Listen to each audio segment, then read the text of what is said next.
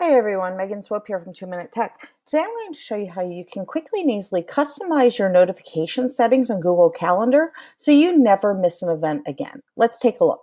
So if you go to Google Calendar, you'll notice you may have any number of calendars over here on the left side. To customize the notifications, you simply hover your mouse over a calendar until the three dots appear.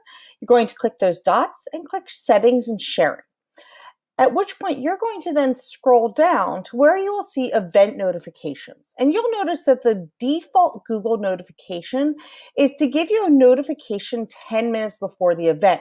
That means it's a pop up notification. However, if you don't necessarily have your calendar up or if you're presenting, you may ultimately want a different kind of notification. Personally, I prefer getting an email 30 minutes before an event. That way, it gives me enough lead time to make sure I don't miss an event.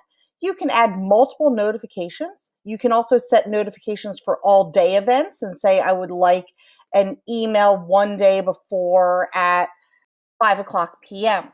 And again, you can add multiple notifications there. Just below that, you can also determine what kind of notifications you get for different calendar actions, including new events, changed events, canceled events, event responses, and whether or not you want to receive a daily agenda, which would be sent as an email at 5 a.m. with all of your events for the day. And for each of these, you have the option of either getting an email or not getting a notification at all.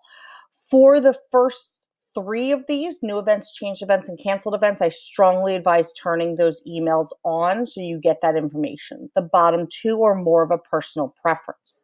So, as you can see, it's really very simple to change those notifications on your Google Calendar. And these can be vital steps to take to make sure you don't miss important events. As always, if you have any questions, don't hesitate to reach out to me at megan at 2minutetech.com or you can visit our website, 2minutetech.com, where you can subscribe to Facebook, YouTube, and Twitter. Have a great day.